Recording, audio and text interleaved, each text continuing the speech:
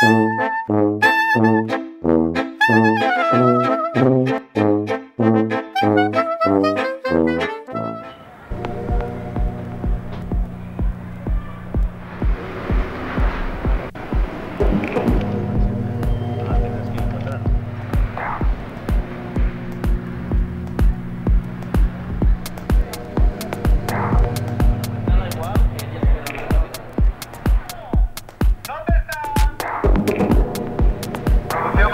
¿Me das tú el ok? Segunda.